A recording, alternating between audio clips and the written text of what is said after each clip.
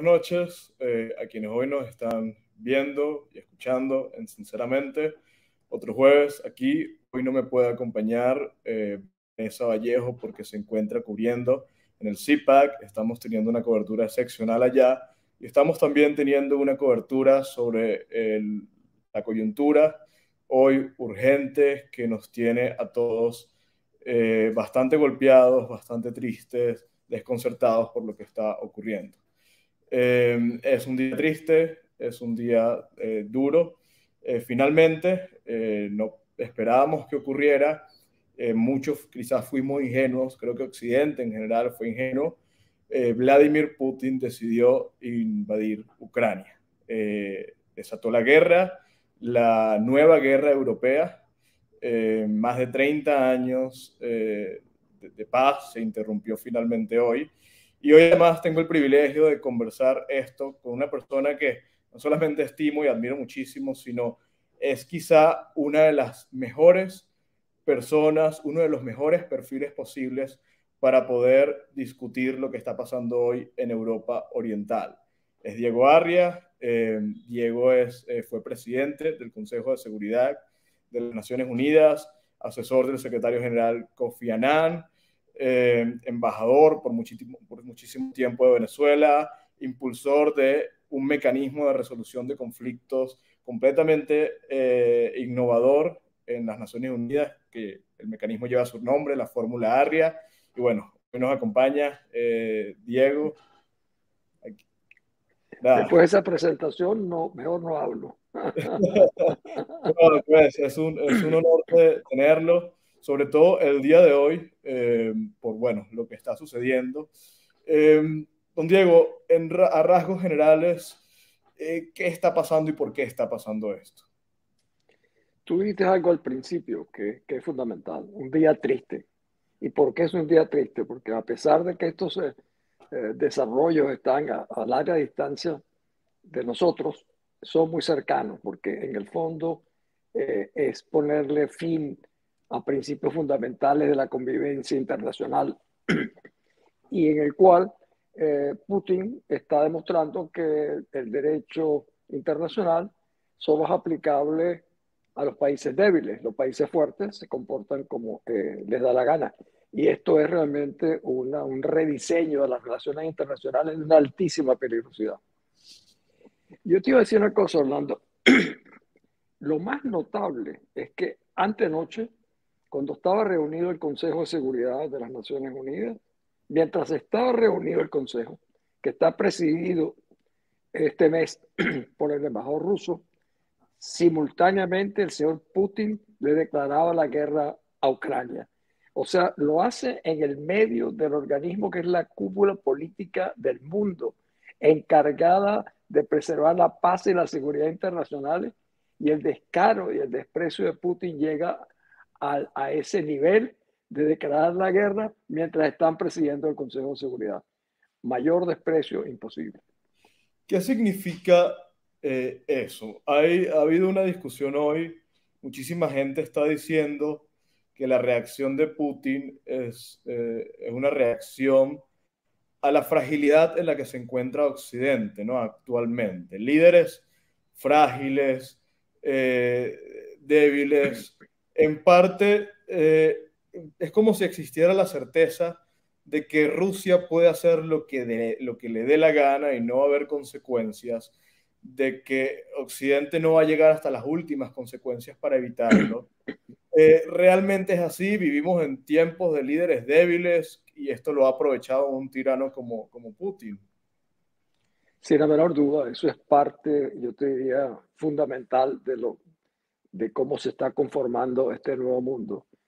Eh, la salida de Afganistán eh, es el que más se menciona, pero yo me recuerdo con la época en que estaba sancionado Saddam Hussein, un barco norteamericano de guerra fue a Haití a tratar de imponer el orden, se llamaba, y un grupo de locales en el puerto gritando al barco se fueron. Yo me recuerdo que dije, esto lo está observando Saddam Hussein, si un barco de guerra es capaz de ser ahuyentado de un país por un grupo de forajidos, efectivamente, yo decía, lo está observando Milosevic lo está observando eh, Hussein, porque el mundo es ahora tan pequeño para estos efectos que este tipo de comportamiento tiene un efecto que va mucho más allá de lo que en ese momento están tratando.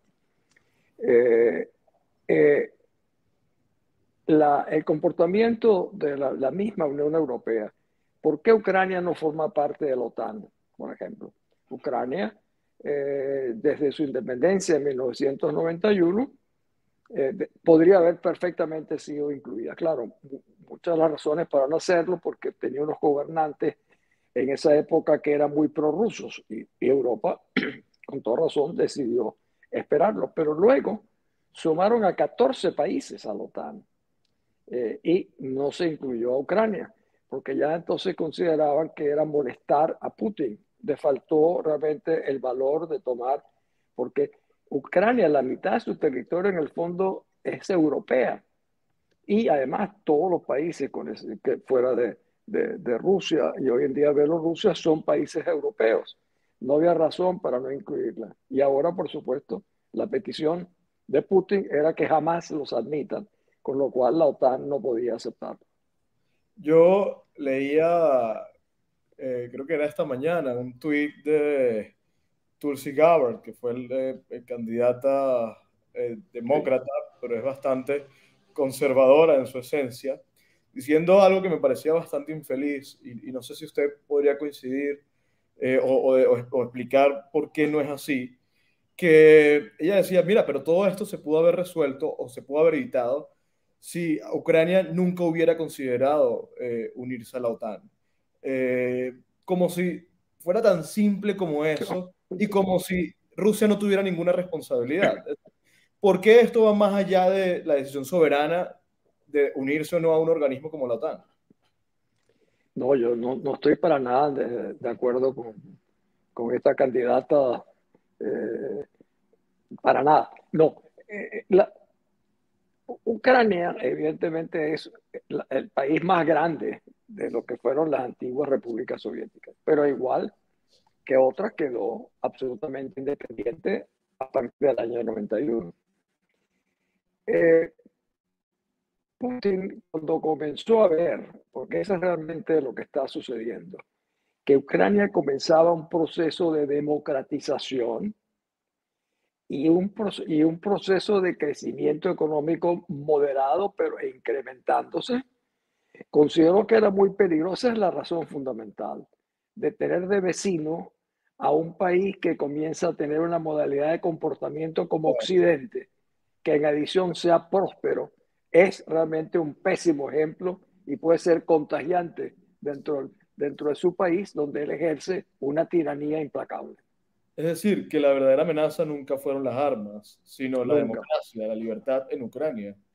Absolutamente, nunca. Pero fíjate que, sin embargo, la comunidad internacional se ha dejado marear. Putin la ha estado manejando a su conveniencia. En, los, en la famosa comunicación de Putin en diciembre a los Estados Unidos y a los europeos habla de que su preocupación es la seguridad en Europa, las cuáles serán las modalidades. Esa no era su preocupación. Su preocupación seguía siendo cómo meterle la mano a Ucrania. Y curiosamente, los Estados Unidos, que, con frecuencia se equivocan en sus especulaciones en materia de inteligencia, comenzó a señalarlo con una precisión casi de la hora en que iba a comenzar la guerra. Y Putin decía que era una histeria, que Putin era un histérico, y así decía Lavrov, su canciller, y así lo decía su embajador de las Naciones Unidas. Sin embargo, los mecanismos de inteligencia de Occidente, específicamente los norteamericanos, funcionaron con exactitud. Diego, ¿qué posibilidades hay de que esto escale a un conflicto global? Sputnik, eh, esperando que Sputnik es pura propaganda rusa, eh, reportaba esta, este, esta tarde, y creo que es el único medio que lo reportó, y supongo que siendo el único no fue cierto, que supuestamente un carguero turco había recibido un impacto cuando eh, iba hacia, hacia los puertos ucranianos. ¿no? Em, no sabemos si es cierto, pero de ser cierto, o de ser cierto muchísimas otras cosas, por ejemplo, Bielorrusia, Bielorrusia se, se, unió al, conflicto, eh, eh, Es decir, parece que la, la posibilidad de que eh, Putin está invitando a más naciones a acompañarla en este proceso o está forzando que otras naciones sean víctimas para que de alguna manera esto escale, podría asomar la, la, el escenario de un conflicto global. ¿Usted cómo lo ve? ¿Lo, lo inminente o no? Fíjate, eh, Bielorrusia, que viene del norte de Ucrania, justamente de ahí vienen saliendo las tropas rusas hacia Kiev, eh, justamente lo que tú estás pensando. Ahora, eh, yo oía esta tarde a una persona por la cual yo tengo mucho aprecio y respeto, que es el almirante Stravidis, que fue justamente eh, el jefe del de, Comando Supremo Europeo y que, y que, por cierto, era el del Southern Command, del Comando Sur en la Florida, tal vez tú te debes recordar, que yo creo que uno de los militares más inteligentes que he conocido. Y él decía, dentro de este escenario, porque él lo ponía, que, que él conoce perfectamente bien, eh, pueden suceder cosas que nadie está previendo. Por ejemplo, eh, hay unos observadores norteamericanos en Odessa, por decir un sitio, y, y un helicóptero ruso mata a los, a los, a, los norteamericanos. Eso cambia el juego. Eh, o, o, o, a unos ingleses, pero pongamos a los norteamericanos, que sería un detonante mucho mayor. O sea, hay eventos pequeños para no tener que ir a, cuando mataron a, al hijo del emperador austríaco en Sarajevo eh, en el año 14. Y eso comenzó la Primera Guerra Mundial. Daría la impresión de que Putin se siente muy cómodo de ver que puede hacer, como tú decías al principio, lo que se le antoje y que decida moverse hacia Moldovia, por ejemplo, que, que está, Moldova está al lado de Odessa, o que incluso comience a presionar a, Polonia. Pero el hecho es que si él logra controlar, que yo creo que nunca logrará controlar, si logra invadir completamente Ucrania, pone bajo una, a una intimidación permanente a todos los países bálticos y a todos los que rodean a Rusia porque piensan que lo mismo puede sucederle y que nadie va a defenderlo fuera de imponerle sanciones que solo tienen consecuencias a mediano o a muy largo plazo.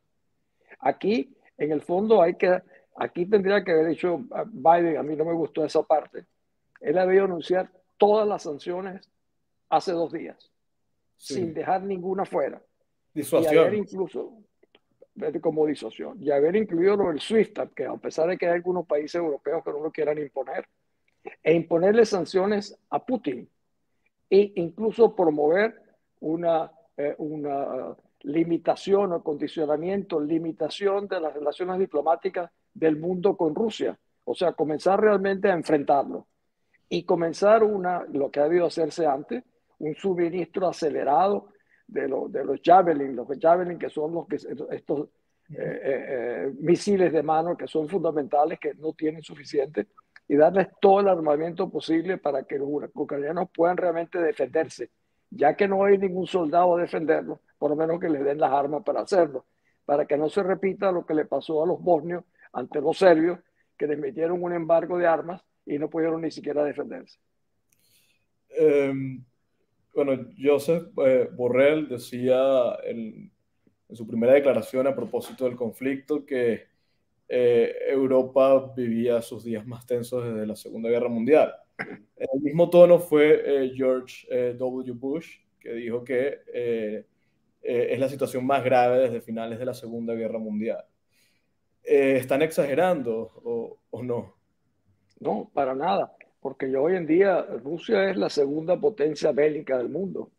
Y, por ejemplo, tú recuerdas muy bien eh, la amenaza de Putin hace un par de días, donde dijo, cualquier país que se meta en nuestros asuntos corre, correrá las consecuencias tan graves como nunca se ha imaginado en su historia. Eso no lo ha dicho nunca ninguna persona a cargo de un régimen ni siquiera Khrushchev cuando el tema de Cuba en el año 62. O sea, es de un hombre que evidentemente está un poco fuera de sí, de sus cabales, eh, que también demuestra una desesperación al ver la reacción mundial tan condenatoria de sus actos, pero que se atreve a hacer, decir algo como eso, y lo que te decía al principio, declarar la guerra a Ucrania mientras están presidiendo el Consejo de Seguridad de las Naciones Unidas.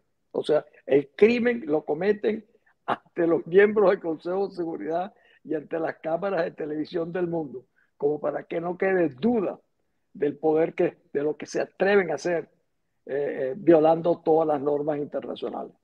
Eh, eso, es, eso es insólito y, cada vez más, digamos, cuando suceden estas, estas cosas, la gente se inquieta ante, ante estas dinámicas, porque es difícil digerir el hecho de que el embajador ucraniano esté frente al embajador ruso y le diga que para los criminales de guerra no hay purgatorio porque se van al infierno, ¿no? Una frase bastante fuerte. Pero, ¿cómo funcionan estas dinámicas y qué incidencia pueden tener en la guerra? Es decir, eh, por ejemplo, Guterres ayer le imploraba, le decía a, Putin que desde mi corazón te lo... Es decir, no sé, ¿qué, ¿qué posibilidades hay de que esto realmente tenga una incidencia en el curso de la guerra? O Putin ni siquiera ha visto las declaraciones de Guterres y probablemente ni se ha enterado. Te digo una cosa, mi querido Orlando. Guterres ha pasado a ser para mí el más pálido de los secretarios generales. Incluso dijo lo que tú dijiste en edición, dijo, me arrepiento, pido perdón porque no anticipé, me equivoqué. Eh, un secretario general que no ha cumplido con sus responsabilidades. Eh, ese, eh, ese encuentro con el, ucraniano le dijo van directo al infierno eh, eh, a, mí realmente me complació muchísimo, eh, porque es lo que merecía Rusia presidiendo el Consejo de Seguridad. Evidentemente que eso no va a salvar a los ucranianos, pero yo sí creo algo, Orlando, que ojalá no, no esté equivocado, que los ucranianos se han venido cohesionando a lo largo de este proceso. Y, y yo da la impresión de que va a haber una resistencia fuerte por su parte, de que eh, el, presidente ha, ha, logrado permanecer muy tranquilo ante el mundo, una situación de tan alta peligrosidad, pero inspirando a su gente.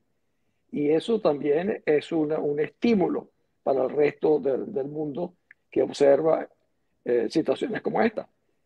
¿Tú te imaginas, cambiando un poquito, cómo estarán hoy en día en Taiwán de preocupados? Le volaron ocho aviones eh, esta mañana, aviones chinos, en su espacio defensivo aéreo. Porque dicen, bueno, imagínate, si no defienden a Ucrania, que está allí mismo en Europa, ¿cómo nos van a venir a defender a nosotros en Asia? Eh, y, mismo, y, los, y, los, chinos están siguiendo eso al milímetro, eh, a ver cuál va a ser el comportamiento. Si es un problema de sanciones, ¿qué sanciones tú le puedes poner a China? Que es un monstruo económico y militar o sea, están inmunes casi a cualquier sanción. Eh, a, lo cual nos lleva de que las sanciones son un instrumento importante, pero no es suficiente para nada, y menos cuando comienza. Ya creo que han matado cerca de 200 ucranianos en el primer día y todavía no han llegado a las grandes ciudades. Eso lo han hecho en las afueras, a, algo así como 100 kilómetros de Kiev. Imagínate si llegaran a Kiev. Sí, eh, es, nuevamente, es difícil. Eh, ahorita Biden hablaba y él decía que él estaba al tanto de que las sanciones no iban a, a evitar que Putin eh, avanzara e inmediatamente después anuncia nuevas sanciones. Es decir, eh, insiste en una fórmula que sabe que no va a evitar lo, lo que está ocurriendo. Taiwán lo menciona. Fíjate, perdón que te interrumpa un segundo. Fíjate que el jefe de la mayoría de la minoría en el Congreso, Mitchell, ¿no? Eh, el republicano, que es un señor mayor. Yo creo que han debido poner al máximo todas las sanciones de arriba hacia abajo, en la parte alta de la escalera las sanciones. Y no lo hicieron.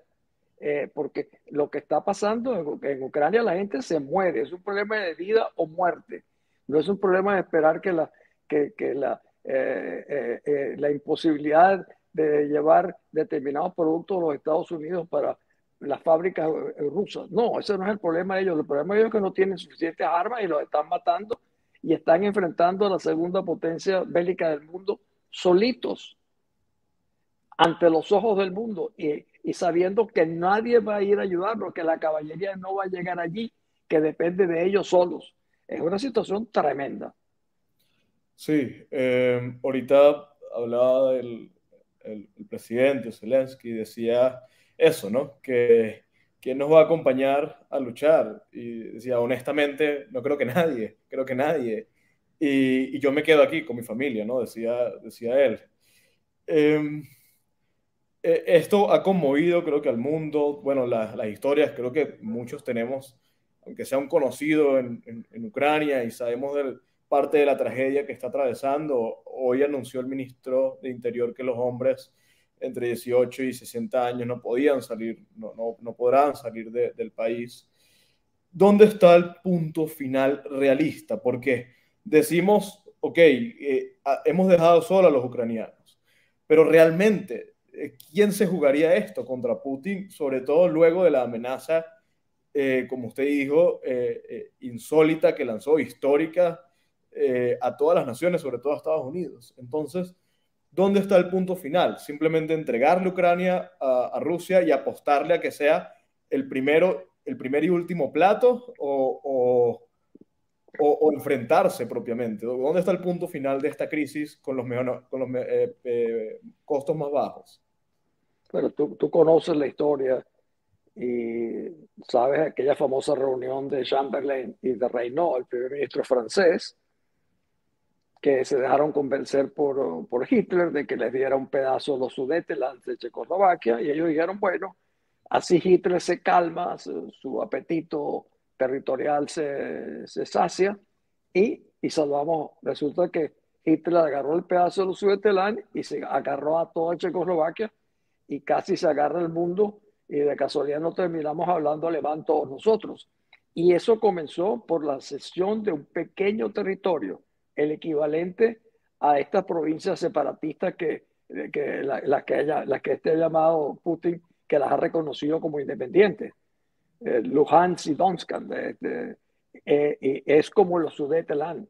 Así comenzó la Segunda Guerra Mundial.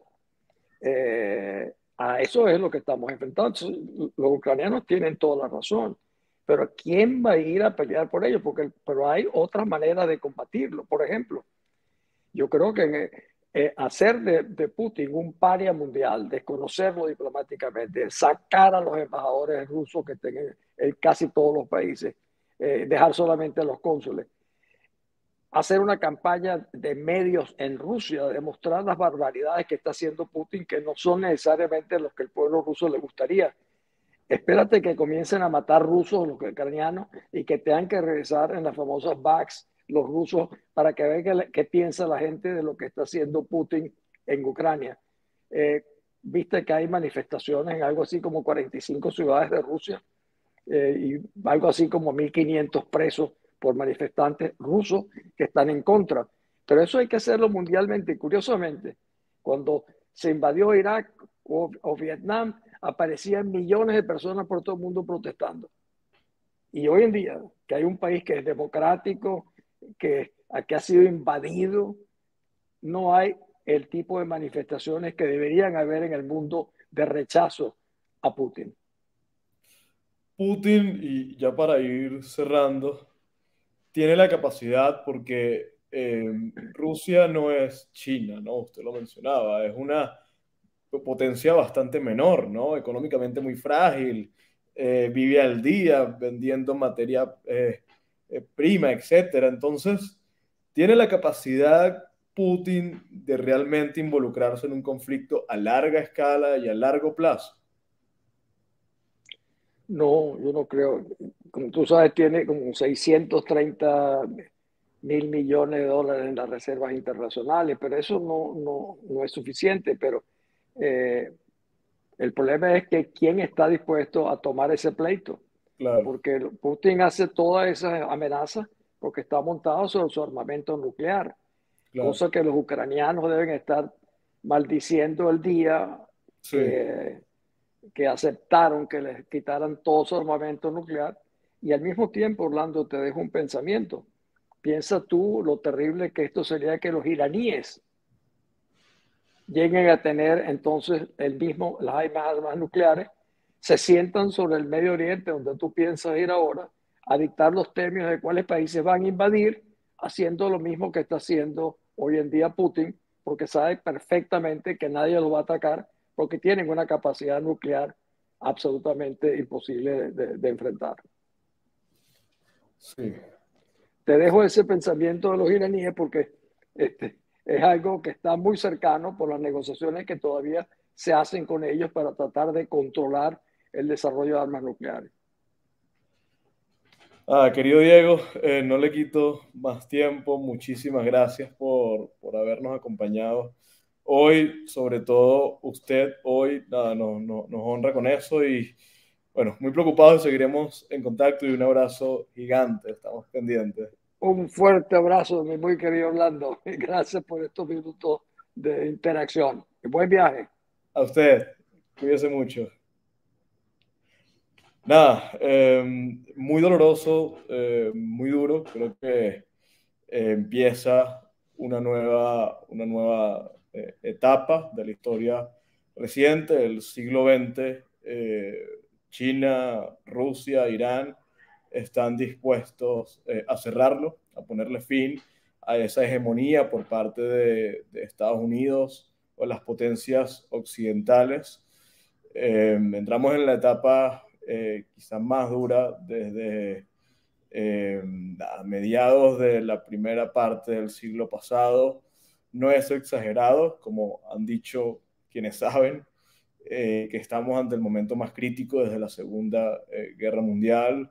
Toca apostarle a que, a que impere, se imponga el sentido común, se imponga realmente los valores, la preocupación, porque esto no escale, no tenga consecuencias dramáticas y no se lleve la vida eh, de inocentes. Creo que el mundo entero debe repudiar eh, a Vladimir Putin, un tirano de quinta, menor, eh, que dirige, mafioso además, que dirige a un país empobrecido, miserable, sin asfalto, pobre, al que lo único que le ha dedicado es el engrosamiento de unos recursos y una capacidad militar que, está utilizando para matar inocentes. Entonces, ese mafioso, como decía muy bien eh, Diego Arria, merece el repudio y convertirse en un paria. A eso le apostamos y por supuesto le apostamos a un mundo en el que Estados Unidos eh, vuelva a, ser el hegemón, sea eh, dominante, sea una potencia, sea fuerte y define y defina la agenda. De lo contrario, vemos lo que está pasando. En un año, un poco más de un año, de un Estados Unidos débil y frágil, vimos cómo Palestina bombardeó sin piedad a Israel. Vimos cómo Afganistán terminó en manos del talibán. Y hoy estamos viendo como un país democrático, próspero, libre, en vía eh, de un desarrollo como nunca lo había tenido, cae en manos de una mafia, como la, una mafia además soviética, zarista, chequista, como la de Vladimir eh, Putin. Eh, nada, son días duros, nos vemos el próximo jueves. Espero que Vanessa ya nos eh, esté acompañando entonces y ha sido un placer.